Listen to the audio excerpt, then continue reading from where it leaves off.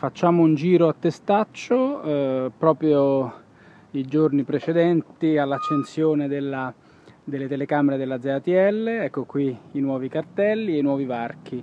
Eh, come vedremo eh, purtroppo la ZATL è eh, ipotetica purtroppo solamente per chi vuole per chi, vuole, eh, per chi vuole rispettarla tutti gli altri potranno fare purtroppo eh, come gli pare. Questo praticamente è l'unico o uno dei pochi varchi fatti come si deve. La strada è a senso unico il varco in entrata con l'allargamento dei marciapiedi. Purtroppo tutti quanti occupati dai eh, motorini immediatamente.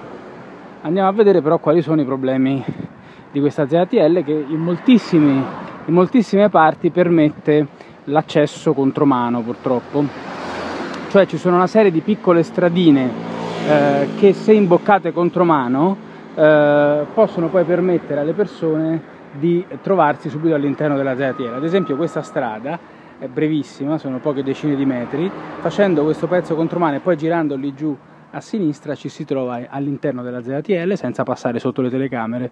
Eh, quindi a differenza di quello che si aspettano i residenti, la zona non diventa più sicura e più tranquilla, ma diventa paradossalmente ancora più pericolosa perché a ogni strada in uscita dalla ZTL non controllata da telecamere ci potrà essere qualcuno che tenta di entrare contromano. La cosa succedeva moltissimo prima quando i varchi non erano eh, controllati da telecamere ma erano controllati dai eh, vigili e succederà ancora di più eh, oggi.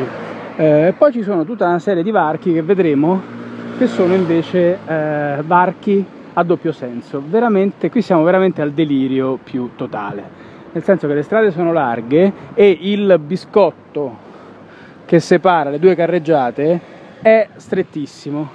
Quindi nulla vieterà a eh, tutte le auto che vogliono entrare senza essere riprese dalle telecamere di eh, entrare dalla parte non eh, eh, osservata dalle telecamere. Vedete, basta passare qui a sinistra invece che a destra, aspettando che laggiù non c'è nessuno che arriva e si entra veramente in maniera immediata nella, nella ZTL, in maniera molto tranquilla nella ZTL. Diventa una cosa eh, immediata da fare, non occorre neanche fare quello che solitamente si fa nelle altre, nelle altre, eh, negli altri varchi, quelli contromano, cioè di entrare a retromarcia, come spesso molti fanno, l'accorgimento che molti eh, personaggi che vogliono entrare abusivamente nella ZTL fanno. Qui è veramente semplicissimo, si guarda così e si entra, ecco quello che stiamo facendo adesso, e si entra contromano in ZTL e poi ci si riposiziona sulla propria corsia così si è dentro la ZTL di, di testaccio senza assolutamente farsi vedere dalle, dalle telecamere. Ma andiamo avanti e vediamo i prossimi varchi. Ecco qui siamo sotto casa del, del primo ministro Enrico Letta che abita in questo palazzo soprannominato il Kermelino perché è un palazzo molto particolare architettonicamente qui su piazza dell'Emporio. Il solito spettacolo indecente di macchine posteggiate sul marciapiede dovunque e vediamo adesso di trovare altri spazi dove purtroppo eh, si verificherà il fenomeno dell'accesso contromano. Doppia fila su via Marmorata come da tradizione. Qui c'è un eh, accesso fatto bene, questo qui di via Branca funziona abbastanza bene perché c'è un allargamento del marciapiede, però subito dopo, come vedremo, ci sono una serie di strade che eh, venivano utilizzate anche prima da chi voleva entrare contromano non rispettando la ZTL e quindi adesso a maggior ragione saranno utilizzate. Sono strade deserte che nessuno utilizza per uscire dalla ZTL, quindi non ci sarà nessun problema per entrare per chi vorrà per entrare contromano, specialmente in retromarcia.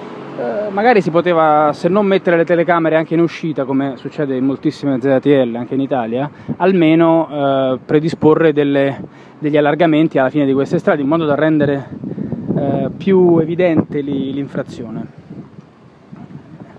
e invogliare meno a, a, compierla. Insomma, se un luogo è più mh, visibile, eh, c'è più visibilità, è più facile che qualcuno eviti di, di farci dentro un'infrazione.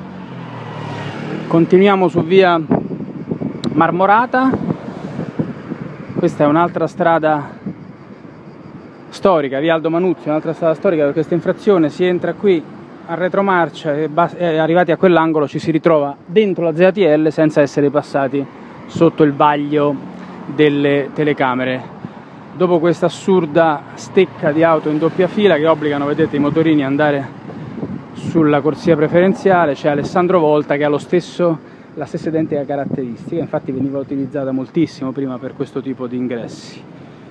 Si entra qui a retromarcia e si fa un pezzettino, se arriva qualcuno eh, pazienza, si va avanti e si prova dopo, se non arriva nessuno si entra nella ZTL, ma la cosa delirante che adesso vedrete è eh, via Galvani, guardate come è fatto il varco ZTL di via Galvani c'è questo biscottino centrale, questa parte a destra dove entrare e poi tutta questa parte a sinistra enorme, gigantesca, dove eh, non si potrebbe entrare, dove entrare sarebbe ovviamente eh, contromano. Quindi eh, le persone che entrano in ZTL, se sono malintenzionate, possono decidere o di passare in quello spazietto microscopico facendosi controllare dalle telecamere oppure eh, avere questa immensa prateria davanti eh, a sinistra e entrare eh, contromano. Guardiamo questa cosa anche da, in maniera frontale, vedete a sinistra eh, c'è tutto lo spazio libero per, per, volendo passare contromano, a destra invece c'è lo spazietto protetto da un piccolo eh, spartitraffico per passare sotto la telecamera.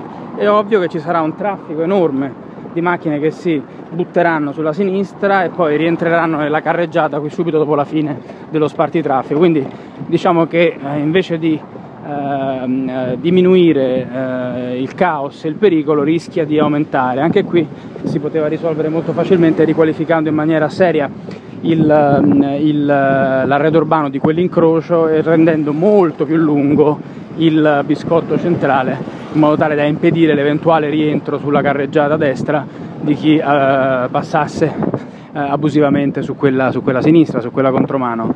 Purtroppo eh, l'agenzia della mobilità non, eh, evidentemente non pensa a queste cose, forse siamo noi che siamo troppo allarmistici, ma poi lo vedremo la settimana prossima quando si accenderà la ZTL, vedremo quanti passeranno regolarmente o quanti no.